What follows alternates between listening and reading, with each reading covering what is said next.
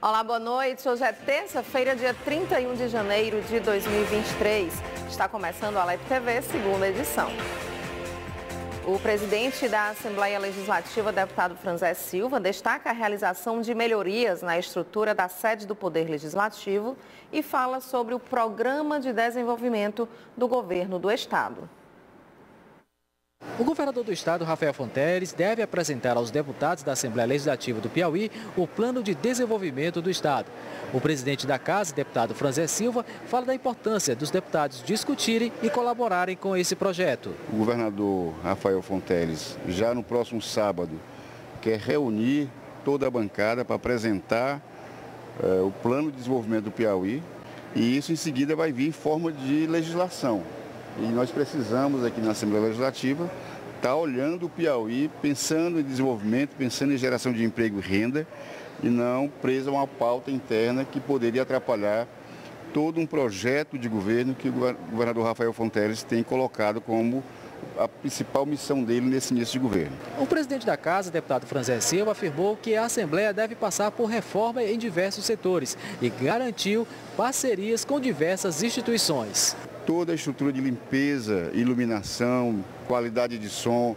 Então é um conjunto de ações que ainda são paliativos. Nós iremos fazer uma grande reforma na Assembleia, inclusive dando maior comodidade para os parlamentares dentro de seus gabinetes.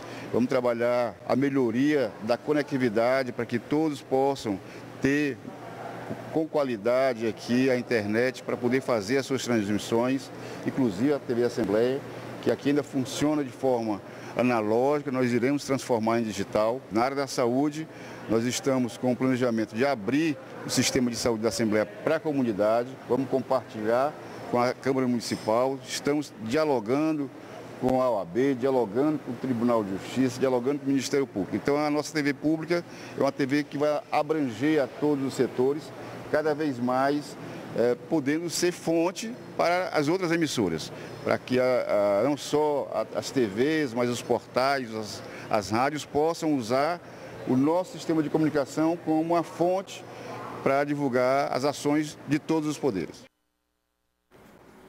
Agora vamos para um dado preocupante: os casos de feminicídio registrados nos últimos anos no Piauí. Só em 2022 foram mais de 20 casos e as autoridades ressaltam a importância da denúncia e o uso de ferramentas de proteção a esse público, como o Disque 180 e o aplicativo Salve Maria. Um cenário que tem se agravado a cada ano no país. A violência praticada contra as mulheres tem assumido dimensões variadas. Esta socióloga avalia alguns aspectos que envolvem a violência doméstica e familiar e o crime de feminicídio. Primeiramente, nós devemos observar essas questões do feminicídio é, no entendimento sobre o que, que seja a violência contra a mulher. Desde a violência verbal, desde a violência psicológica, patrimonial, sexual também, que nós vemos que muitas vezes combina na situação de feminicídio. É preciso entender isso com clareza para que não haja uma tentativa de identificação de culpados terceirizando para a vítima. Né? Entender que isso aconteceu única e exclusivamente por conta do estuprador. Não é por conta de uma roupa, não é por conta de um local, não é por conta de horário que a pessoa estava, do local ser ah, tá provavelmente vazio. Então isso tem em culpa, em parcela, do estuprador. E nós devemos avaliar isso, porque Muitas vezes, essas violências, elas dizem muito respeito sobre a ideia do poder da, da dominação do homem sobre a mulher. A especialista também observa a importância de mecanismos para a punição dos criminosos. A lei ela é bem clara no sentido da punição a respeito do, das pessoas que cometem esses, esses crimes, dos criminosos. E o que a gente precisa muito mais é justamente da aplicação dessas, dessas punições, que elas não sejam afrouxadas, que justamente haja um cumprimento dessas penas, que essas pessoas não possam responder, por exemplo, em processo de liberdade e que seja justamente haja um maior cuidado em observar ah, justamente se esse criminoso, né, criminoso, criminosa, essa pessoa criminosa, ela está oferecendo ainda riscos para a vítima. Dados do mapa da violência revelam que o Brasil é o quinto país que mais mata mulheres. No Piauí, em 2022, 23 mulheres foram vítimas de feminicídio. O núcleo de feminicídio do Departamento de Homicídios e Proteção à Pessoa é responsável pela investigação dos casos. O núcleo policial investigativo de feminicídio, ele não investiga apenas o feminicídio, que é a morte decorrente da violência doméstica, familiar ou menosprezo ou discriminação pelo fato de ser mulher. O núcleo ele também investiga qualquer morte violenta de mulher em Teresina. Então, Muitas das vezes nos deparamos com mortes decorrentes de facção criminosa, de tráfico de drogas. Também, independentemente da idade, se for do sexo feminino, também nós investigamos. E também a questão do gênero. Em termos de números, em 2022, o estado do Piauí teve 23 casos de feminicídio consumado, sendo 4 na capital e 19 no interior. Por isso, é fundamental fazer a denúncia. A gente às vezes valoriza demais a, a, ocorrer o feminicídio, mas a gente tem que entender que o feminicídio ele é a ponta de uma situação de violência doméstica familiar que já acontece. E muitas das vezes não se dá a importância merecida, ou seja, se deixa de denunciar, a mulher se cala, o vizinho que sabe do que aconteceu não denuncia, e fatalmente acaba desaguando em situação extrema que é o feminicídio. Então, a denúncia, ela é o principal é, elo nessa busca de, de evitar feminicídio, de se reduzir a, a, os índices de violência doméstica familiar. Então, existem vários canais para esse tipo de denúncia. Tem o Disque 180, tem também o Disque Direitos Humanos, tem o aplicativo Salve Maria, que é um aplicativo genuinamente piauiense. Nós também, nós também temos o 190, que são situações flagranciais, e também denúncias para a própria Polícia Civil. E agora vamos falar de um crime que é recorrente nos períodos de férias ou feriados prolongados, que é o golpe do aluguel. Neste ano terão vários feriados que poderão ser aproveitados pelas famílias. E quem prefere alugar imóveis por temporada deve redobrar os cuidados para não ser vítima de golpistas. É normal consultar plataformas digitais para procurar casas para aluguel de temporada. Isso porque compensa bem mais dividir uma casa com a família e amigos do que ficar hospedado em hotel por dias e dias. Mas é preciso ter cuidado, porque o barato pode ser caro se você cair no golpe do aluguel. A gente já tinha o costume de alugar casas lá em Luiz Correia, principalmente em período de carnaval, com uma pessoa já conhecida. Só que na época estava muito caro e a gente decidiu procurar por outros meios. E no grupo de, de do Facebook, mesmo comunidades de aluguéis de casa em Luiz Correia, a gente localizou esse rapaz. E aí, por estar no grupo, por outras pessoas já terem conversado com ele, a gente decidiu é, é, alugar, né? Fazer o contrato e tudo. A família se juntou e tinha transferido mil reais para ele. E ele só dando balão. Aí eu acabei, com duas semanas antes, a gente acabou desistindo do contrato, que a gente fez até contrato, só que os dados dele não eram é, dados reais. A gente pediu para ele transferir o dinheiro de volta. Ele só simplesmente depositava só o envelope dizendo o valor, mas não depositava nem um centavo. E nisso ficou, ficou por isso mesmo a situação. E a gente acabou perdendo, no caso, mil reais por conta desse, deste golpe de uma pessoa que a gente supostamente pensava que seria uma pessoa real, né? uma pessoa que fosse correta nas coisas dela. No caso da Rano, o falso locatário fez até contrato. Esse foi um dos motivos que fez ela acreditar que o aluguel era verdadeiro. Mas existia um fator que ficou uma pulga atrás da orelha. O valor do imóvel era bem abaixo do esperado. É importante frisar, num, nunca pagar o, o, valor total, certo? Porque naquela emoção de garantir a casa, é, às vezes o proprietário, ele, ah, se você não pagar todo, não tem como, não. O importante é pagar até 50%, ou então uma diária, certo? Para não correr o risco de é, até ficar sem o imóvel, tá? assim, quando chegar ao local. Então, jamais pagar o valor total. Nesses casos, onde se cogita alugar uma casa em outra cidade, é necessário buscar informações, perguntar bastante, alugar com pessoas de procedência ou empresas registradas. Muito cuidado é, quando você entrar nos anúncios. Verificar as fotos, verificar todo o script de informações, todo o detalhamento do imóvel, o valor também, é, o contato da pessoa, você buscar referências daquele local, é, tentar buscar referências daquela pessoa, certo?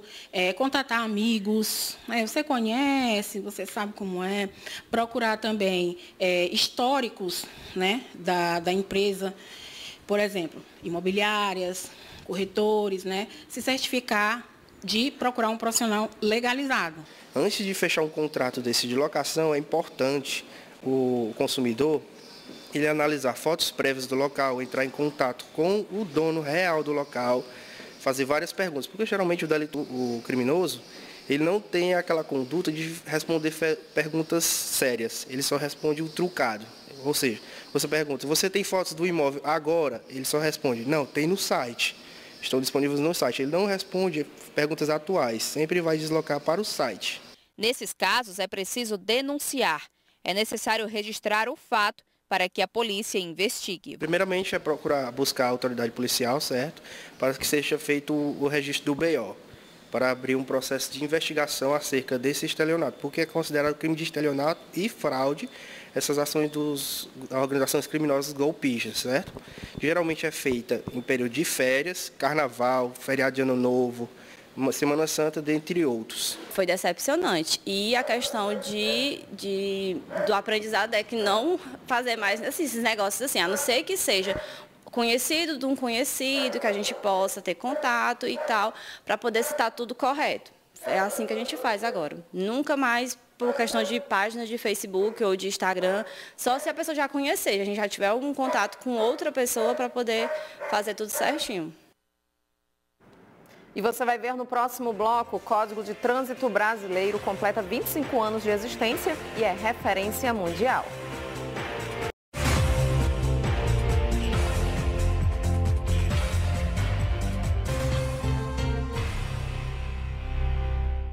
informação não para. Acesse www.al.pi.leg.br/tv e fique em dia com notícias importantes para você. Nova plataforma muito mais intuitiva. Você pode navegar à vontade. E mais, link para assistir ao vivo a TV Assembleia. www.al.pi.leg.br/tv. TV Assembleia feita pra gente é o que liga.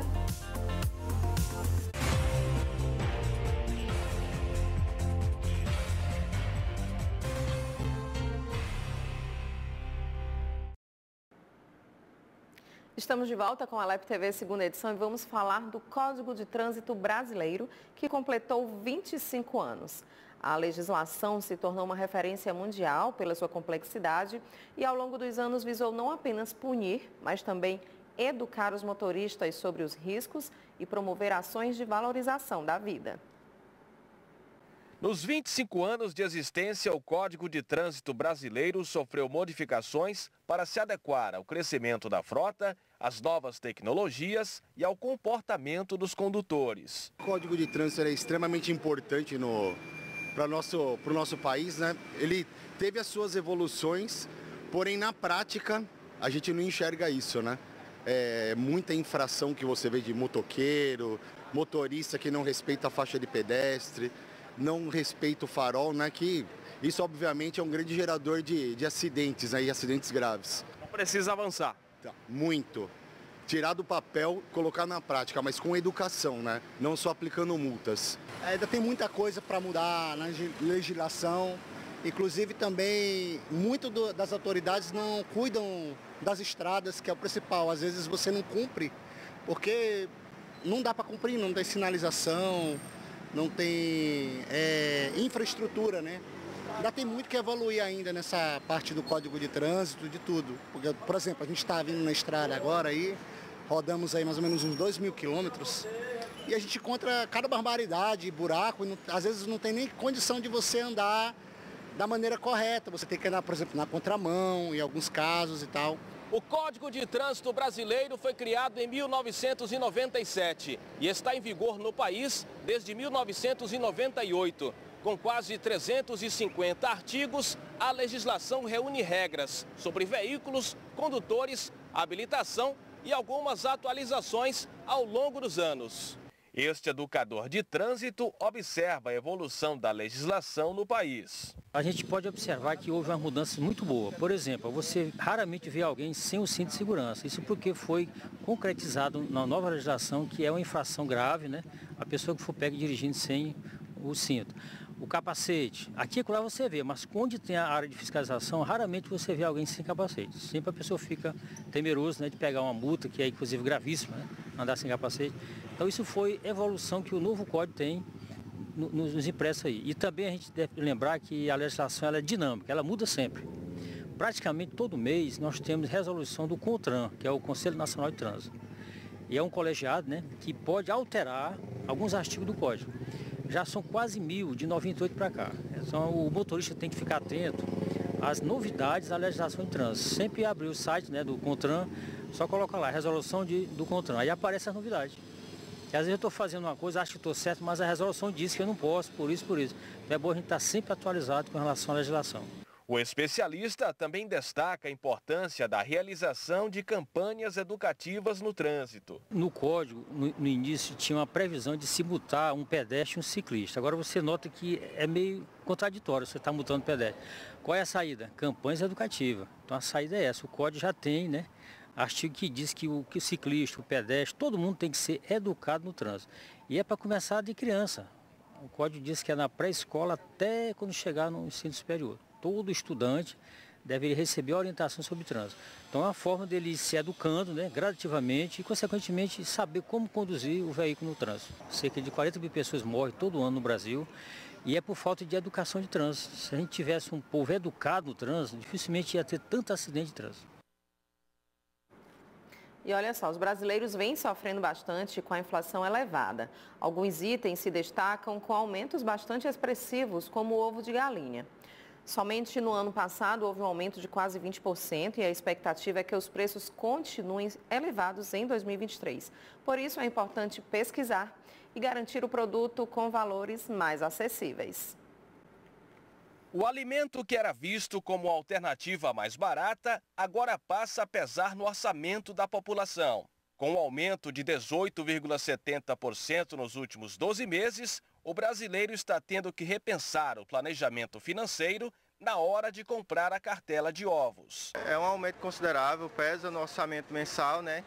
Então a gente recorre ao SEASA para poder economizar no, no valor, né? É uma alternativa para a gente conseguir reduzir aí esse aumento. Mas os preços realmente estão caros, né? É, estão caros, de fato, e vem subindo aí ao longo dos anos, praticamente já dobraram ou triplicaram esse valor. Né? Então, é a realidade da gente agora é essa, né? Não tem o que fazer. Preocupante, não é? Porque é, tudo, tudo tem aumentado absurdamente. E aí a, as famílias mais humildes, de repente, não podem comprar nenhum ovo, visto que o preço sobe absurdamente. Então realmente o pessoal tem que procurar muito, né, antes de fazer as compras, né? Sim, a gente procura bastante, bastante. Eu, eu, por exemplo, moro no Cristo Rei, venho aqui na Ceasa comprar porque é onde eu encontro mais barato. Aqui na Nova Ceasa, o preço da cartela com 30 ovos, que antes custava 13 reais, passa a custar agora 15 reais. Os preços deverão continuar elevados. Devido ao aumento das rações, milho, soja, é, aí isso está fazendo com que está tendo o impacto direto no, no preço né, do, do, da mercadoria, do ovo, e também com o período que a gente se encontra, se aproximando da Semana Santa, começa meio que faltar ovo no mercado. E isso também impacta diretamente no, na questão do preço tanto pelo aumento das rações, tanto pela falta da mercadoria que está no mercado hoje. Entendeu? E isso está fazendo com que os preços venham elevando e com certeza vai ter uns reajustes para as próximas semanas.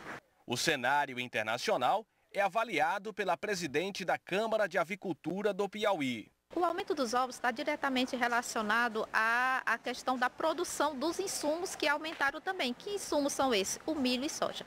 Então, por que que para produzir hoje milho e soja está mais caro? Porque existe todo um cenário internacional que a gente precisa levar em consideração. Então, a, as oscilações do mercado internacional e a grande procura do mercado internacional pelos produtos é, produzidos aqui no Brasil do milho e soja. Então, isso fez com que a, os insumos chegassem a, aos pequenos negócios mais caros, né? E como aumentou aí esse preço, consequentemente a gente tem um aumento também no produto final, que no caso é os ovos.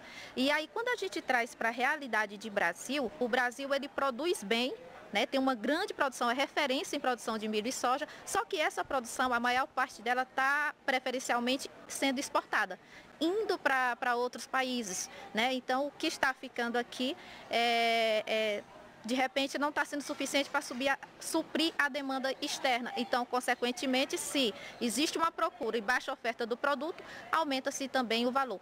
E com mais um aumento, os impactos no orçamento da população também são observados. Esses altos custos, né, que a gente já citou também, tem também a questão do, do alto preço, né, esses últimos anos aumentou também consideravelmente o combustível, né, e tudo isso vai somar no final no produto final esses aumentos e infelizmente chega até o consumidor. Então são esses fatores que fazem com que o preço do ovo esteja hoje elevado. A população acaba sofrendo com esses aumentos? Infelizmente sim, porque alguém tem que cobrir esses custos. E aí quem vai cobrir é a população final, é o consumidor final. E um produto que vem ganhando repercussão aqui em Teresina é a peta, tradicional biscoito de goma que se tornou inspiração para um cordel criado pelos alunos do curso de Tecnologia em Gastronomia do Instituto Federal do Piauí. Quem diria que uma receita tradicional de um petisco piauiense poderia se transformar em arte? A Noemi ama cordel desde criança, por influência da família, e resolveu unir esse amor com a paixão pela culinária.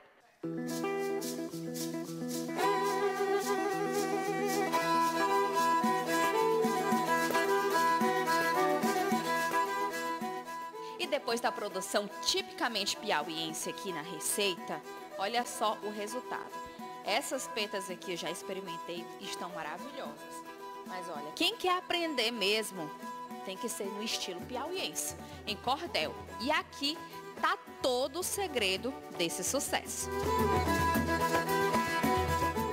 Essa ideia do cordel, que é algo que eu já tenho muita afinidade, veio do professor da disciplina, professor Carlos Lustosa, que assim, uma conversa um pouco aleatória, ele acabou descobrindo que eu tinha afinidade por, por esse tipo de literatura e ele pensou na ideia, que tal a gente juntar né, as receitas piauienses com essa ideia do cordel?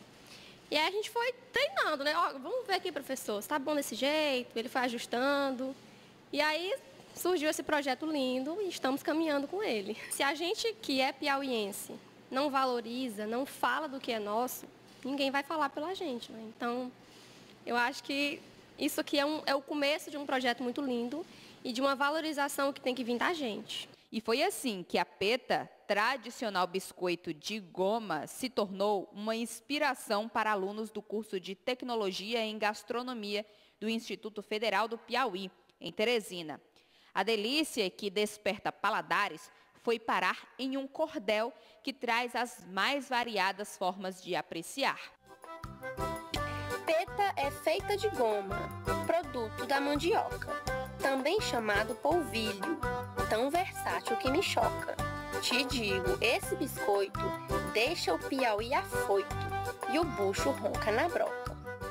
A gastronomia ela está presente no nosso dia a dia, ela nos identifica quanto pessoas, ela nos caracteriza e é a mesma coisa que a arte faz também, né? A gente tem é, a gastronomia na música, né, como músicas como Feijoada Completa, do Chico Buarque.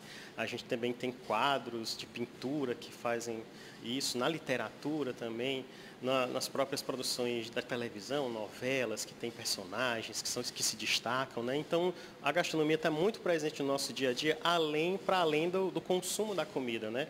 Então, é muito importante também que a gente possa fazer isso dentro do Piauí, né? juntar a nossa gastronomia com a nossa cultura. Além de te contar essa história, é claro que vamos te dar a receita da peta. Anota aí: 1 litro de goma, 350 ml de água, 350 ml de óleo, 10 a 12 ovos e sal a gosto. No preparo, você precisa ferver a água com o óleo, misturar tudo até ficar em uma consistência pastosa e leve. Depois, é só colocar na forma untada e ir ao forno.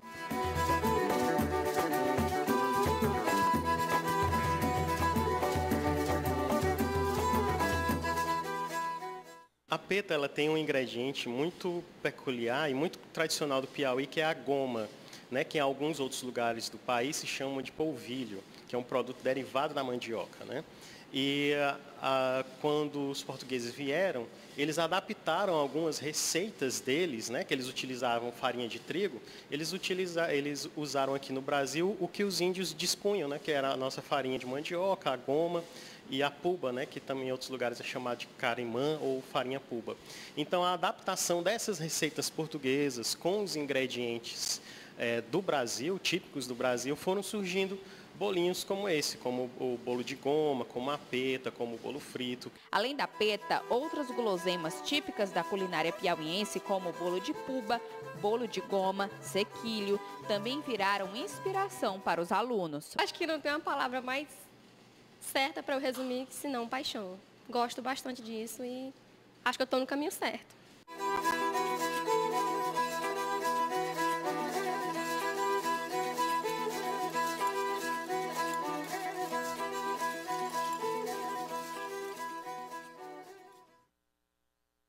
É de dar água na boca, né? E vamos às notícias direto do site da TV Assembleia.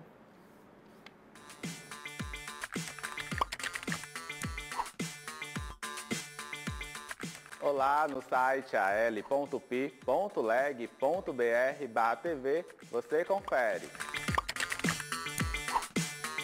Universidade Estadual do Piauí lança 400 vagas para cursos de especialização. Ministério da Educação divulga novos prazos de inscrição para SISU, ProUni e FIES. Agência Nacional de Energia Elétrica mantém bandeira tarifária verde para fevereiro. Governador do Estado, Rafael Fonteles, apresenta plano de desenvolvimento do Piauí a empresários. Organização Mundial de Saúde decide manter Covid-19 em alerta global máximo. Você pode acompanhar toda a programação da TV Assembleia ao vivo pela internet e nos siga nas redes sociais. O Instagram, TV Assembleia Pi, o YouTube, TV Alep Piauí e Legislativo Pi, a fanpage TV Alep Oficial. Até mais!